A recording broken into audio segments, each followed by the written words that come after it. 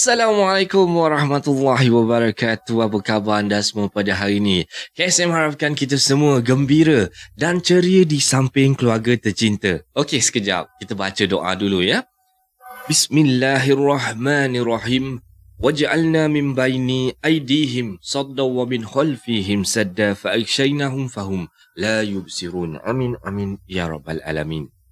Baiklah, tak nak buang-buang masa lagi. Jom kita teruskan dengan kisah yang pertama untuk hari ini.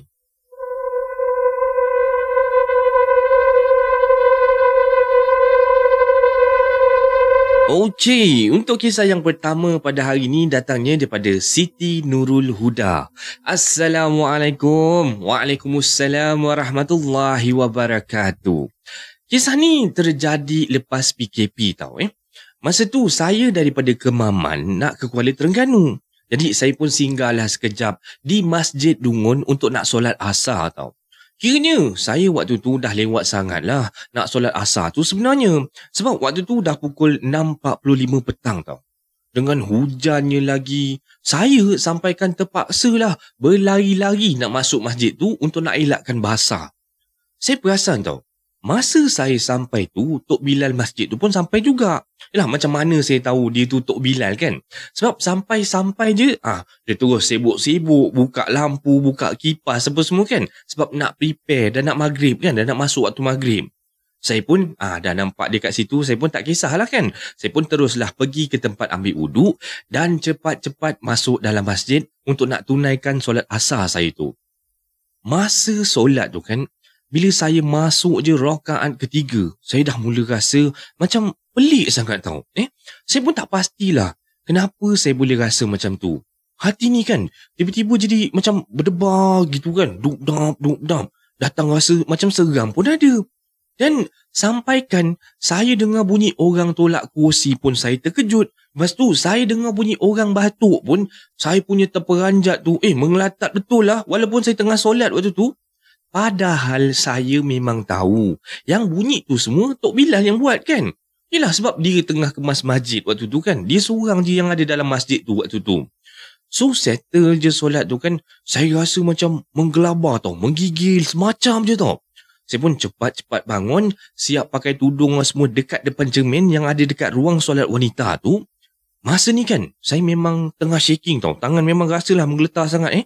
Tapi tak tahulah eh. Datang pun apa entah. Tiba-tiba je. Masa saya tengah tengok cermin tu. Duk cermin muka saya nak pakai tudung tu lah. Saya boleh cakap macam ni. Eh, cantik juga eh aku ni. Kulit putih, bibir merah, lawannya lah aku ni. Ah, saya boleh cakap macam tu tau. Padahal masa tu sebenarnya saya tengah shaking, tengah takut tau. Saya pun tak tahulah eh. Benda tu spontan je. Ayat tu keluar daripada mulut saya. Saya macam tengah hayal. Tengok waktu tu saya tengah tengok muka sendiri tu saya rasa macam hayal pula. Dan saya langsung tak teringat waktu tu nak baca doa tengok cermin ke nak baca doa apa pun saya tak ingat langsung. Eh, keluar daripada masjid tu, saya terus masuk dalam kereta. Dan masa saya masuk dalam kereta tu, suami saya terus tegur. Hai awak, kenapa lama sangat? Saya tengok orang masuk masjid lepas awak tu dah keluar dah pun. Bang, mana ada orang bang? Saya sorat seorang-seorang je lah tadi.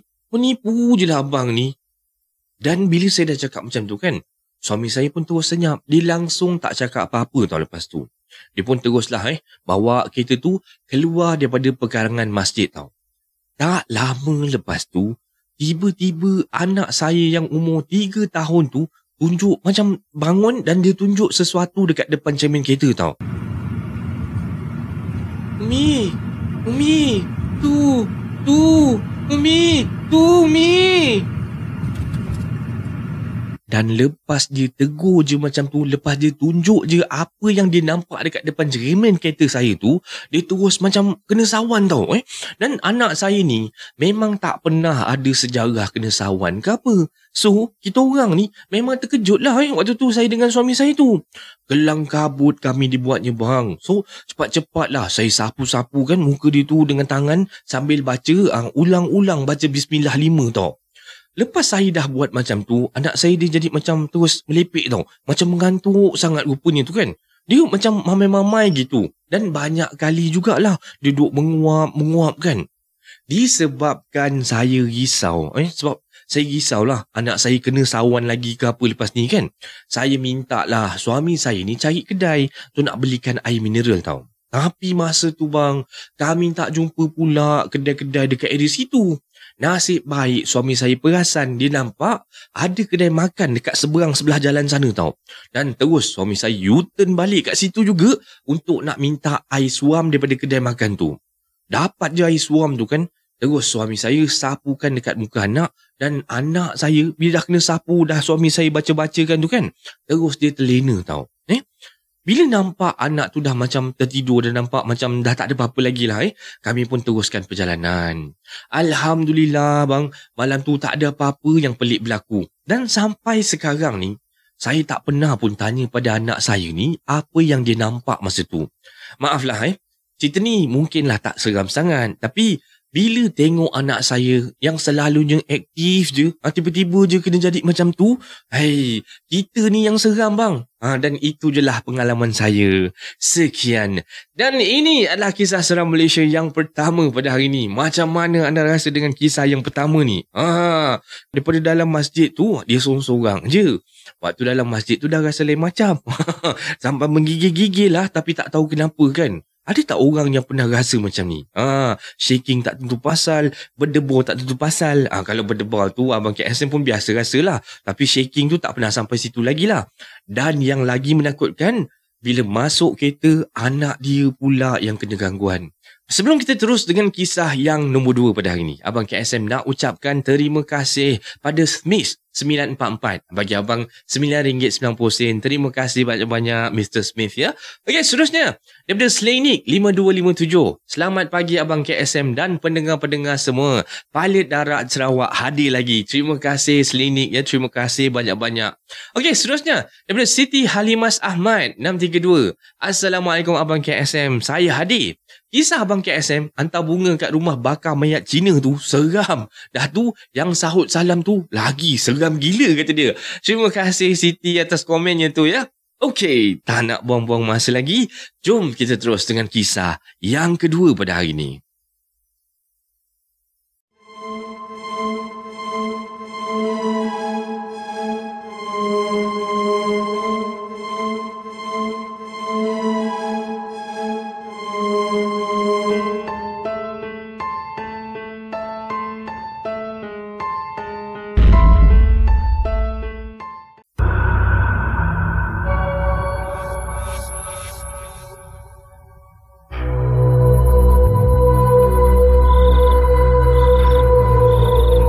Okey, untuk kisah yang kedua pada hari ini datangnya daripada Jasad Lia. Nama pun dah seram ni kan. Kita terus dengan kisah dia ya. Siapa dekat sini ada pengalaman kena ludah dengan hantu uh, jembalang ke, cik ponti ke, penunggu ke? Ada tak? Siapa yang pernah kena macam ni? Ah, kenapa saya tanya macam ni? Sebab kisah ni adalah kisah yang benar-benar berlaku pada adik saya sendiri. Dan untuk makluman anda semua, eh, adik saya ni dia memang jenis yang suka keluar tengah-tengah malam kan pergi merayap sana lah, merayap sini lah. Dah puas dah mak saya nasihatkan. Sama macam tu juga. Biasalah budak-budak bujang kan. Kadang tu kan, dia melipat dengan kawan-kawan. Eh, kadang-kadang pula dia ni suka pergi mancing kat kolam. Dan selalunya ah dia akan balik lewat-lewat lah bila dia keluar malam-malam ni tau. Pernah jugalah, time dah nak dekat subuh, baru dia teringat nak balik rumah kan? Okey lah. Saya nak ceritakan ni, benda ni dah berlaku beberapa tahun yang lepas lah. Masa tu adik saya ni pergi memancing dekat kolam kat kampung kami ni. Dia ni kan bang, dia memang suka sangat mancing tau. Okey, nak dijadikan cerita kan, ada satu malam ni, dia pergi memancing, macam biasalah dia pergi memancing kan. Dia cerita eh, ni cerita dia balik semula lah. Masa dia tengah syok-syok dok memancing tu kan, tiba-tiba je dia rasa macam tak sedap hati eh. Dan dia rasa macam ada sesuatu je yang tak kena kat situ. So, bila dia dah rasa macam tu, dia pun cepat-cepat lah kemas-kemas barang dia pun semua angkat joran apa semua dan kemas tu dia pun terus dah balik ke rumah. Bila dia sampai rumah tu, dengan badan berlengas, berpeluh-peluh tu, dengan tak mandinya dan tak cuci kaki langsung, dia terus masuk dalam bilik, terus tidur bang. Dan esoknya tu, bila dia bangun pagi je, sebelah muka dia dah sengit tau. Macam orang kena uh, stroke, sebelah muka dah rebeh macam tu tau.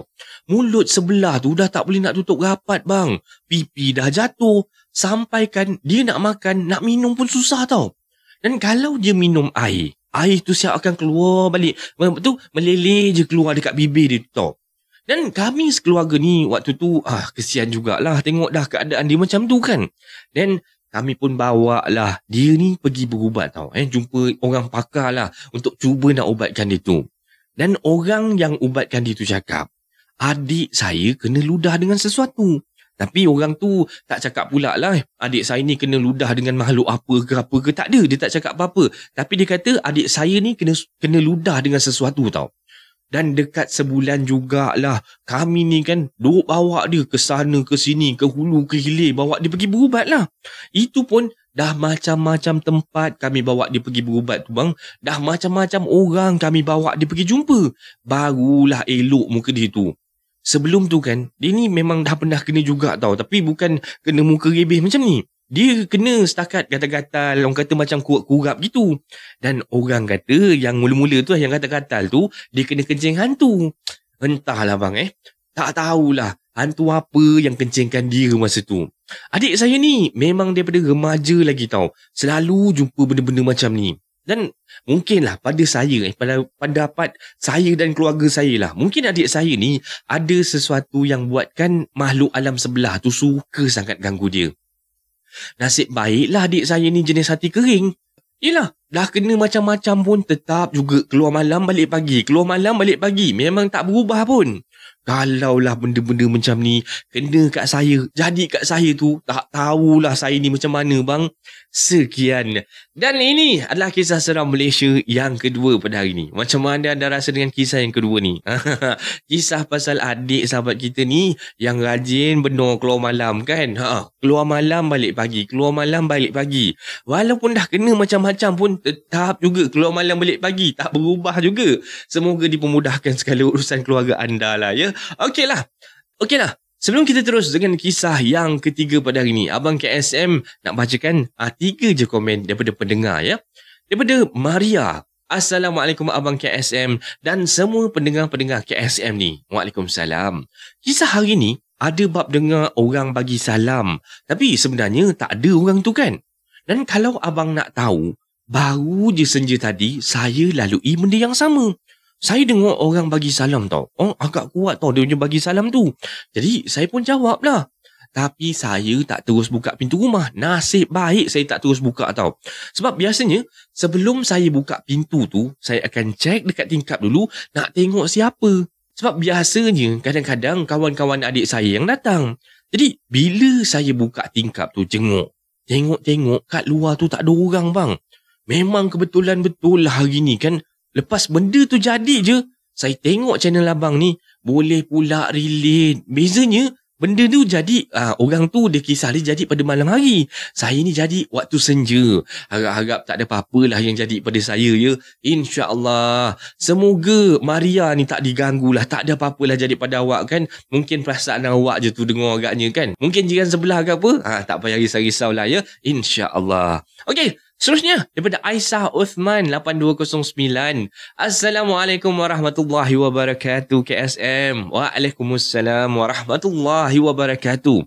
Salam dari Bogawan Sabah hadir di awal malam hari ni. Walaupun di awal malam, mendengar kisah pertama malam ni, awal-awal saya dah mengembang dah bang.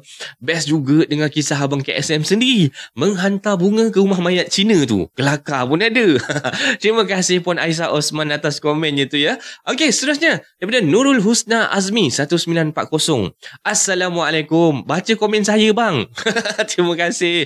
Sentiasa hadir dengan KSM. Ha, ni dah baca ni. Ha, terima kasih Nurul Husna atas komennya tu ya.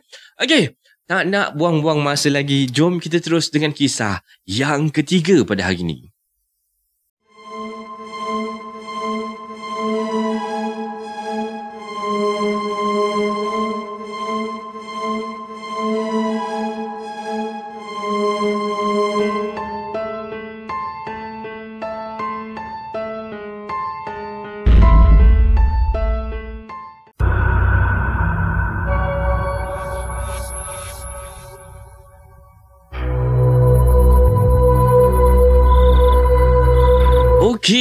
Untuk kisah yang ketiga pada hari ini datangnya daripada Doflamingo ya, daripada Doflamingo lah. Assalamualaikum. Waalaikumsalam warahmatullahi wabarakatuh. Sekali ingin berkongsi cerita tentang pengalaman seram yang saya pernah alami tau. Kejadian ni berlaku pada tahun 2013 macam tu. Dan ketika tu, saya ni balik daripada melihat konsert di kampung sebelah dengan menggunakan motosikal. Dan masa tu kan dah tengah malam tau eh. Saya pergi seorang, saya pun balik pun seorang. Sebab kawan-kawan saya yang lain tak pergi sama tau waktu tu. Sebabnya diorang eh, masa tu masing-masing dah penat bekerja. Dan kalau tak silap saya, diorang semua ambil upah kontrak tau waktu tu. Ha, buat rumah orang lah waktu tu kan. So, bila masing-masing kawan-kawan saya ni tak larat nak join kan, saya pun gedah je lah. Saya pergi je lah seorang-seorang. Eh. Entah kenapa, entah masa tu. Saya ni rasa macam teringin sangat nak tengok konsert tu tau. Okey lah. Dipendekkan cerita je lah. Eh. Ketika saya sampai di persimpangan seleko terakhir yang paling hampir dengan kampung saya tu, saya terjumpa dengan seorang makcik yang saya kenal sangat-sangat tau. Dekat tepi jalan tu lah. Kiranya, Tempat yang saya jumpa makcik tu kan dekat kawasan kebun-kebun orang tau. Kira tepi-tepi kanan tu memang bersemak samun lah. Memang nampak lah pokok-pokok apa semua, pokok-pokok buah orang semua lah. Jadi kan, bila saya dah perasan makcik ni eh kat situ, saya pun perlahankan motor dan saya pun tegur lah. Cik! Cik! Cik buat apa kat sini? Dah malam-malam dah ni. Tak balik lagi ke cik? Tapi kan bang, makcik tu jangan kata nak jawab. Pandang saya pun tidak bang.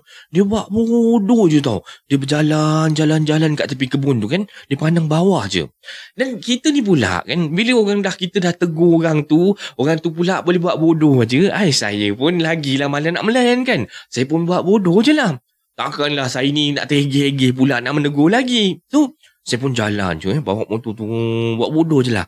Tapi, bila saya dah jalan lepas daripada makcik tu, tiba-tiba pula otak saya ni baru macam loading tau. Ish, orang tua tu buat apa kat situ eh? Ha? Nak kata baru balik konsert, tak nampak pula muka dia kat konsert tu tadi. Masa ni kan bang, dah dekat-dekat pukul 1 pagi tau eh. Makcik tu berjalan tengah-tengah malam buta dengan pakai topi jerami, seada bakul dekat belakang lagi tau. Dan dia pakai pakaian macam orang nak pergi kebun tu. Ha, macam tu lah eh. So masa ni kan, saya dah mula rasa lain macam dah. Tapi saya tak fikir pasal hantu-hantu ni lagi tau. Saya cuma risau kan yang makcik tu, ya makcik tu jenis memang ada nyanyuk sikit lah. Makcik tu nyanyuk ke apa benda lah waktu tu.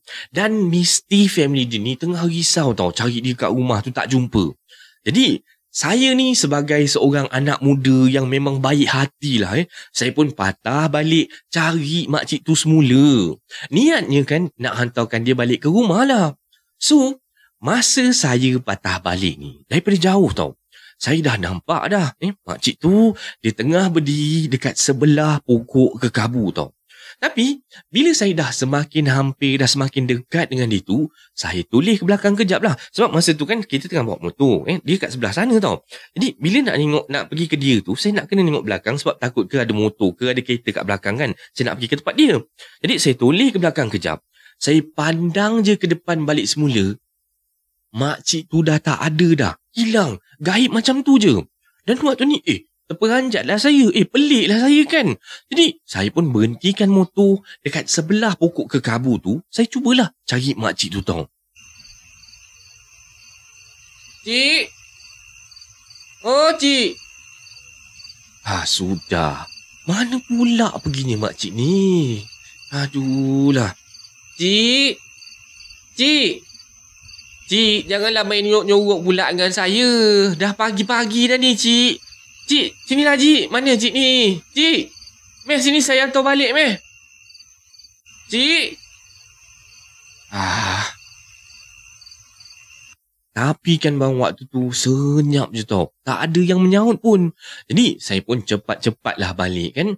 Sebab niatnya nak pergi ke rumah makcik tu lah kan. Nak beritahu family dia yang saya jumpa makcik tu dekat tepi pokok kekabu. Tapi sebelum tu, ah, saya nak balik rumah dulu. Sebab nak ajak ayah saya pergi sekali lah. Tapi kan bang, bila saya sampai rumah saya pada malam tu, saya tengok rumah saya kosong. Rumah saya tak ada orang tau. Dan saya dah pelik dah masa ni. Orang-orang tua kat kampung saya ni dah kenapa kan? Tiba-tiba je semua keluar malam-malam buta, pagi-pagi buta macam ni kan? Jadi, bila saya tengok mak ayah saya ni tak ada dekat rumah, saya pun keluarlah balik kan. Saya start motor, terus gerak pergi ke rumah makcik yang saya jumpa tepi jalan tadi tu kan. Saya terus pergi rumah dia dengan niat nak bagi tahu dekat family dia lah. Masa saya sampai depan rumah makcik tu, saya tengok ramai bang orang berkumpul dekat depan tu. Dengan mak ayah saya sekali pun ada kat situ tau. Dan bila saya sampai sana tu, saya teruslah pergi jumpa mak ayah saya kan. Baru je nak buka mulut nak cerita yang saya jumpa makcik tu dekat tepi pokok kerabu tu tadi. Mak ayah saya dah cakap dah. Eh, makcik tu dah meninggal dah kat dalam. Dah terbaring dah. Daripada pukul 10 malam tadi dah meninggal.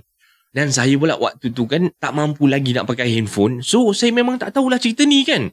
Seminggu bang lepas tu saya demam. Lepas daripada tu, saya langsung tak berani nak keluar rumah lagi malam-malam buta. Sekian. Dan ini adalah kisah seram Malaysia yang ketiga pada hari ini. Macam mana anda rasa dengan kisah yang ketiga ni? Menarik tak menarik? kisah pasal dia baru balik tengok konsert kan kat kampung sebelah. Jadi dah balik tu, dah pukul 1 pagi lah macam tu. Ada on the way balik tu, dia jumpa dengan seorang makcik lah. Makcik tu memang dikenal sangat-sangat. Mungkin jiran rapat lah agaknya kan. Dan dia memang dah tahulah makcik tu dia memang ada penyakit nyanyuk lah kan. Jadinya bila dah nampak makcik tu, ha, baru dia niat nak hantar makcik tu balik. Sekali patah balik tengok-tengok makcik tu dah tak ada dah. Sampai-sampai rumah makcik tu, rupanya makcik tu dah meninggal pukul 10 malam tadi. Habis tu yang dia jumpa tu siapa? Okeylah, sebelum kita terus dengan kisah yang keempat pada hari ini. Abang KSM nak bacakan tiga je komen daripada pendengar KSM ya. Daripada Rohaya Mat Yunus. Assalamualaikum KSM. Waalaikumsalam warahmatullahi wabarakatuh. Suami akak dah tersangkut dengan kisah-kisah KSM si akak ni. Dan biasanya akak dengan anak je yang dengar. Ha, syok pula kata depa tu. Tahniah KSM. Terima kasih Puan Rohaya ya. Terima kasih banyak-banyak. Okey, seterusnya daripada Haryati 1980. Assalamualaikum warahmatullahi wabarakatuh abang KSM.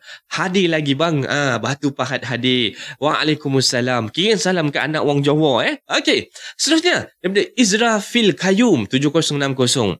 Assalamualaikum Abang KSM. Saya suka dengar kisah seram Abang KSM ni. Daripada tempat kerja lama dulu, sampailah ke tempat kerja baru ni. Earphone tak pernah lepas nak dengar cerita KSM. Terima kasih. Terbaiklah. InsyaAllah rezeki abang melimpah ruah dan sentiasa sihat-sihat selalu. Same goes to you all lah. Eh. Semua untuk semua pendengar-pendengar KSM ni. Kita sama-sama doakanlah. Semoga semua rezeki kita dilancarkan. Dipermudahkan segala urusan kita. Diberikan kesihatan. Dan mana yang sakit tu diberikan kesihatan dengan cepat. Amin. Amin. Ya Rabbal Alamin. Ya. Okeylah.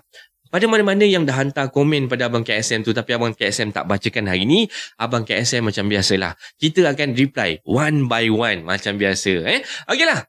Tak nak buang-buang masa lagi, jom kita terus dengan kisah yang keempat pada hari ini.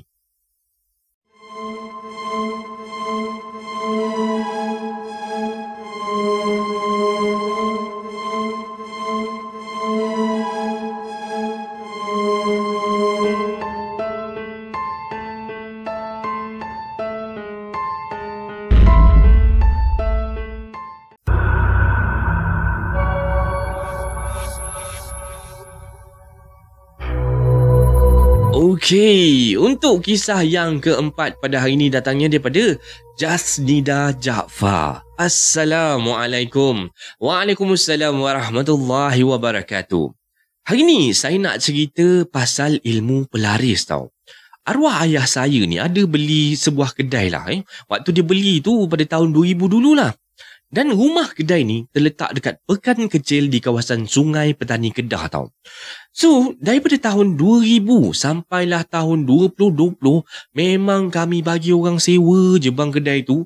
Dan penyewa tu silih bergantilah. Dan saya ingat saya, daripada zaman saya sekolah menengah dulu, sampailah lah ni, saya dah kahwin apa semua ni kan, tak kurang daripada 10 orang jugalah yang sewa dah kedai tu tau. Okey, nak dijadikan cerita kan, pada awal tahun 2021, setelah hutang rumah saya ni selesai, saya pun berhasrat untuk nak ambil alih kedai tu untuk nak buka kedai kek dengan roti tau.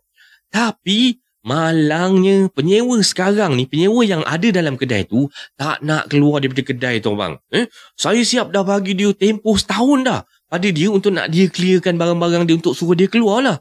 Tapi dia ni tetap juga berdegil tau. Tak nak juga keluar daripada kedai tu.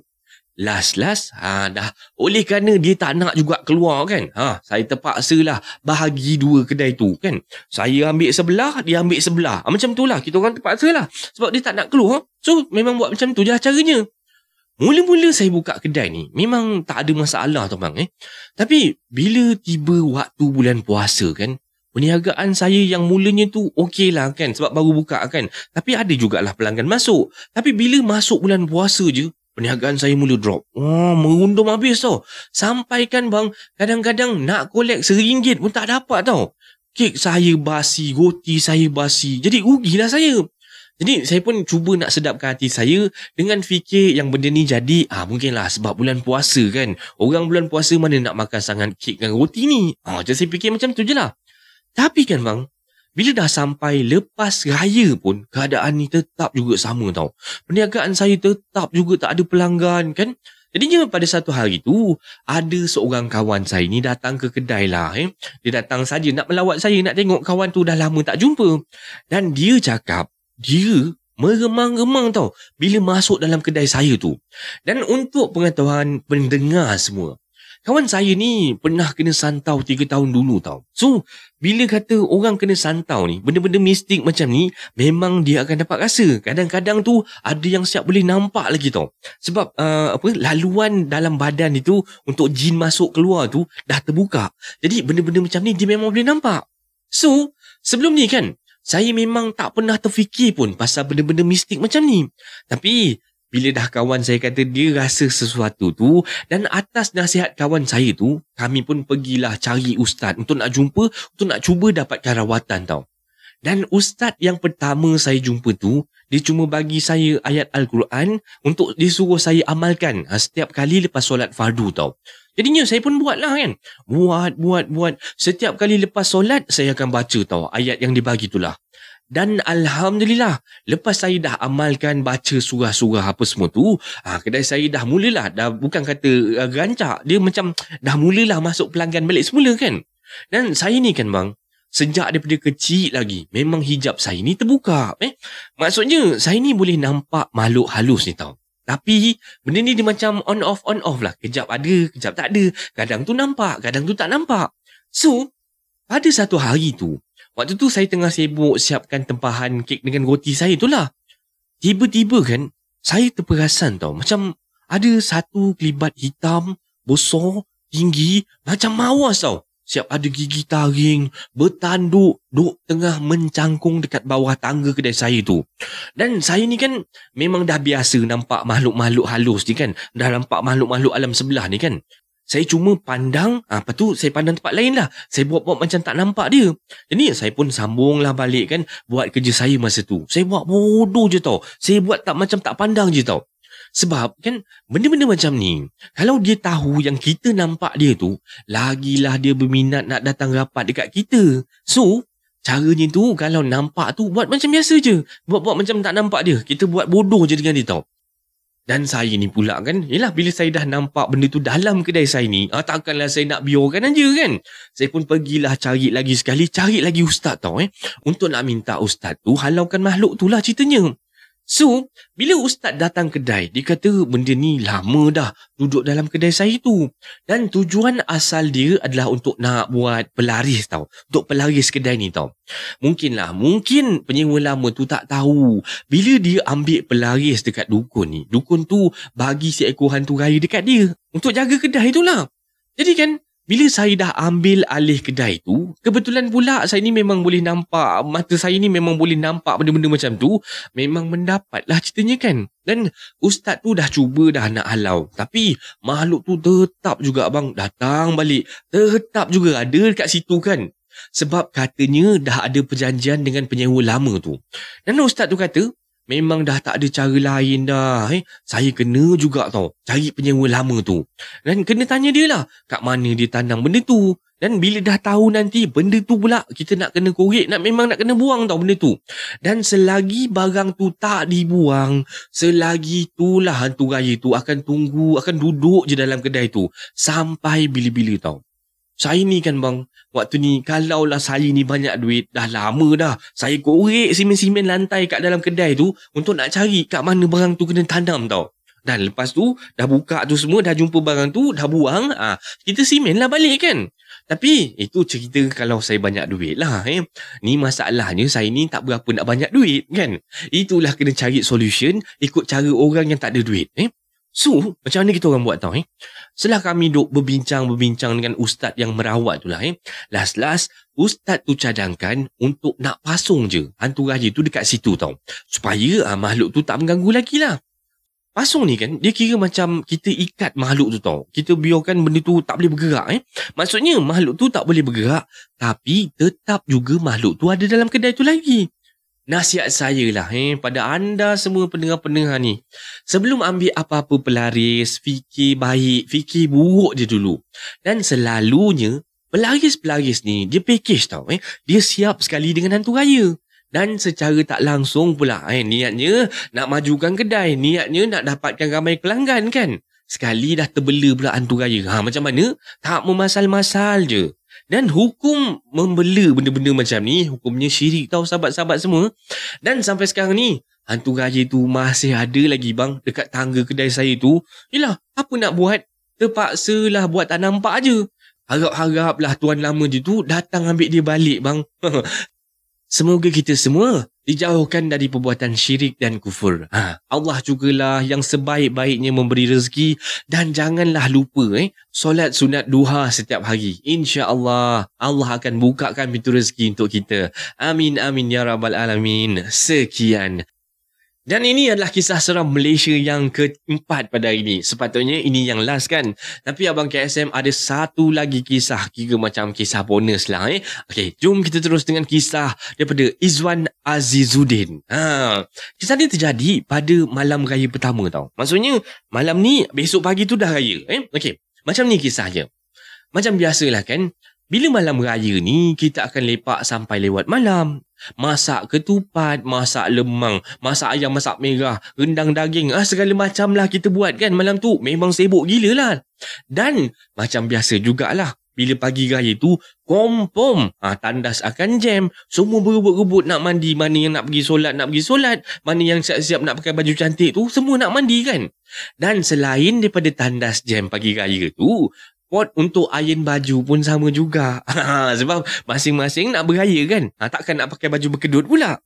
Jadinya kan bang, ha, untuk tahun tu saya ada strategi baru lah. Eh. Untuk saya nak mengelakkan diri saya ni duk berebut-rebut, nak setrika baju pada pagi raya tu, terpaksalah saya gosok baju tengah-tengah malam raya tau. Eh. Masa ni pukul 2 pagi tau. Disebabkan dekat depan tu semua dah penuh dengan sedara mara tidur bergelimpangan macam kena tembak tu kan. Saya pun pergilah kat dapur, ha, buat pot dekat dapur je lah. Ha, janji dekat dapur tu ada plug, boleh nyala setrika tu dah cukup dah. Iyalah waktu tu, saya nak gosok kat depan tak boleh. Sebab semua orang dah tidur kan. Dekat dapur je ni tak ada orang nak tidur. Ha, dah tu nak buat macam mana lagi, situ je lah saya pot kan. Okey lah. Nak dijadikan cerita kan, malam tu bila saya tengah galit duk gosok baju saya ni kan, oh dalam hati tu bunga-bunga lah besok nak raya kan. Oh bestnya besok nak raya kan. Saya pun iron baju eh. Tiba-tiba je saya rasa macam tak selesa tau eh. Saya rasa macam ada sesuatu yang tengah mematikan saya daripada celah-celah pintu dapur. Dan masa tu kan hati saya ni memang rasa tak sedap sangat-sangat tau. Saya tengok Allahu Akbar ada sepasang lagi baju raya yang nak kena gosok tau. Dahlah kain baju tu pula jenis yang payah nak hilang kedut. Tiba-tiba je kan bang, bulu roma saya ni wuh, meremang naik tau. Dan saya cuba jugalah waktu tu nak buat-buat macam berani. Ah ha, Tapi tak jadi apa pun bang. Makin rasa seram adalah.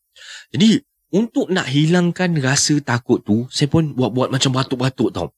Waktu ni saja je konon-kononnya nak hilangkan perasaan dan kalau saya buat batuk-batuk macam tu, benda yang cuba nak mengganggu tu, ah, dia takut ke terkejut ke, dia belah kan? Ah, saya punya niat macam tu lah.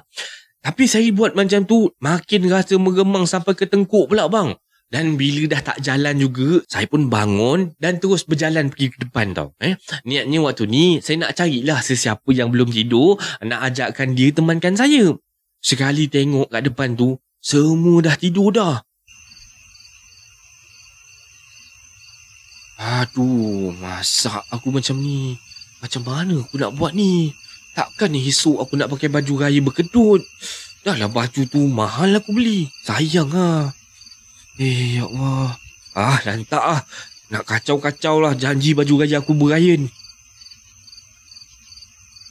Saya pun kan cubalah beranikan diri tau. Tarik nafas dalam-dalam, saya lepas. Tarik nafas dalam-dalam, saya lepas. Dan saya cuba kuatkan iman, tegurkan minda saya kan. Kuatkan semangat. Saya pun teruslah jalan pergi dapur tau. Ini karang kalau dia muncul juga, ah aku nak tegur dia eh. Minta dia jangan kacau lah. Mengganggu betul lah orang nak iron baju pun mengacau. Dan waktu tu saya sajalah cakap macam tu. Nak cuba orang kata hilangkan rasa takut nak buatkan diri kita tu sendiri berani. Jadi saya pun pergi sampai dapur dekat pot saya iron baju tu kan. Saya duduk balik dekat dapur tu sambung semula gosok baju tau. Tak lama lepas tu saya dengar bunyi dari pintu dapur tu.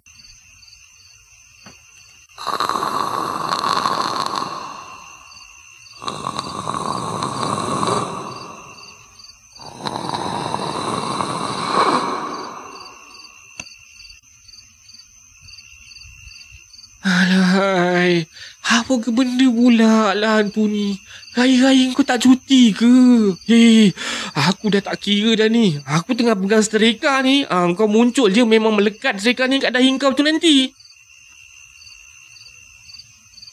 Sambil-sambil tu saya tengok-tengok juga bang dekat celah-celah pintu dapur tu. Dan serius bang, masa ni saya nampak sepasang mata merah tengah duk bergerak-gerak tau kat situ kan. Terus menggeletar bang lutut saya ni kan. Tangan ni terus rasa krem tau. Dan masa ni saya memang dah takut sangat-sangat. Tapi saya tetap juga mata ni tak boleh nak alihkan pandangan. Mata ni tetap juga pandang ke arah pintu tau. Dan mata saya ni tak lepas daripada pandang dekat bahagian bawah pintu dapur tu. Sebab saya nampak ada jari tapi tak ada kuku. Eh? Dia punya warna tu warna coklat hitam gelap. Hujung dia tu tirus je. Ha, tapi tak tajam tau. Dia tengah duk meraba-raba dekat bawah pintu tu tau. Ah, ai. Eh, ya Allah. Dia ni memang nak cari pasal ke apa ni? Ah. Masa ni kan, saya terus pejamkan mata. Dalam hati saya ni dah duk selawat, selawat, selawat banyak-banyak kali. Saya cuba alihkan perhatian saya tu. Eh? Saya buat-buat macam sibuk gosok baju lah. Gosok, gosok, gosok kan. Dan saya masa ni langsung tak pandang pada pintu tu lagi. Tapi bila saya tak pandang ni, makin kuat pula bunyi dekat pintu tu bang. Saya tulis je, saya nampak makhluk tu berbulu hitam. Mata merah menyala dengan jari-jari dia tu panjang-panjang tau. Tapi nasib baiklah benda tu kecil je. Anak tikus bang rupanya nak lalu dekat jelah pintu tu. Memang kurang ajar betul anak tikus ni bang. Sekian. Dan ini adalah kisah seram Malaysia yang terakhir pada hari ini. Semoga anda semua terhibur dengan kisah-kisah yang Abang KSM sampaikan ni ya. Mana yang berminat nak beli baju KSM tu, ah, pembelian masih dibuka lagi sampai 5 hari bulan 9 ni. Baiklah. Abang KSM nak minta ampun, nak minta maaf. Ha, kalau ada tersilap kata, terkasar bahasa tu, harap sahabat semua dapat maafkan ya. Mana yang belum like tu, tekanlah button like tu dulu eh. Mana yang belum subscribe tu, ah, supportlah abang, ah, tekanlah button subscribe tu. Kan kita kan geng. Dengan ini, berakhirlah sudah kisah seorang Malaysia untuk hari ini. Jumpa lagi esok pada pukul 4 petang. Terima kasih semua. Assalamualaikum.